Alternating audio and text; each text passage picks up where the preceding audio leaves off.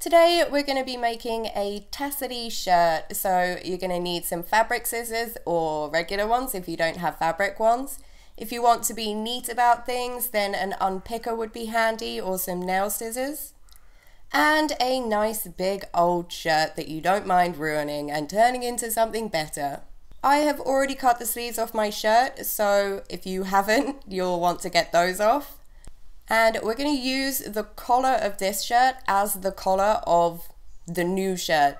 So we're going to cut that off and try and be kind of kind of neat about it. You can always tidy it up a bit once it's off. I did end up actually changing this after I filmed the video and I ended up plaiting together some of the blue and white strands and using that as the collar instead, which I think looks nicer. But, you know, whichever way you want to do it.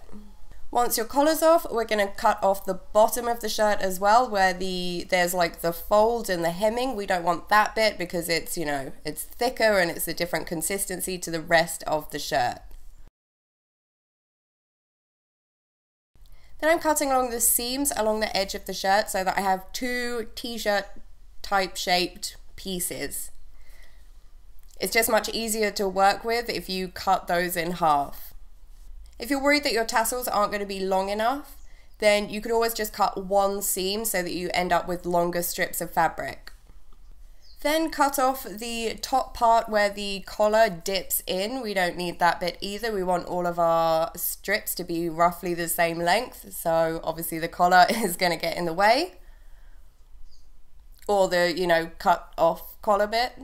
Then I'm just cutting all of the stripes on the remaining material. If you don't have a stripy shirt, these are about an inch wide each. You could go bigger or smaller, whatever you want, but mine are about an inch. If you want to get the two-tone look and you don't have a stripy shirt, you could always use two shirts of different colors. Once all of your strips are cut, we're going to stretch them. And this is going to make them kind of roll up and look a bit more like string. So just grab the two ends and give them a really good pull and make sure you kind of pull those end bits as well so that you don't end up with a unrolled unstretched tip on the ends of those stripes. So you should now have your pile of strings and a collar. So I'm laying the collar out in a collarish type shape, taking my first string and folding it in half. So you should have a U shape at the top where it's folded and we're going to slip that underneath the front part of the collar.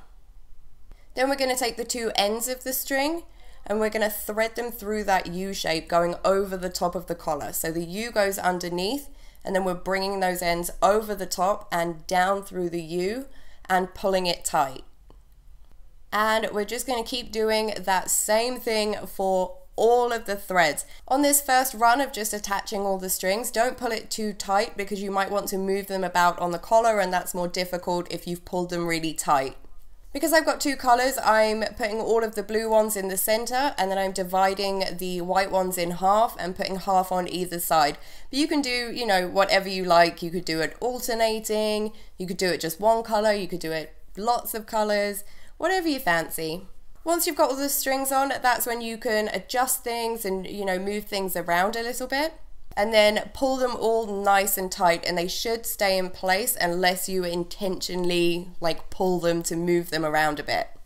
I like to have the collar quite tight and high, so the collar I have is too big. That's part of why I changed over to the plait. So I'm just cutting it in the center at the back and then you can just tie it in a bow when you wear it like a halter top so it's nice and adjustable. If all of your strings are the same length, you should find you have like a very gentle V shape. So in the center, the strings will be longer and on the outside, they'll be shorter. And I like that kind of not perfect gradient look. But if you want to neaten things up or change the length or change the shape that they fall, then you could trim those ends into whichever shape you like. But I'm going to leave mine how it is because I kind of like the messy look. And that's it, you are done. A word of warning about this top, because it's strings, they are not going to cover everything that you would expect a top to cover. The strings will fall to the sides of things, so you know, you might want to wear a sports bra or something underneath, or you know, something to, to cover the goods. So I hope this was helpful and that you all like your new tassel tops. Bye guys!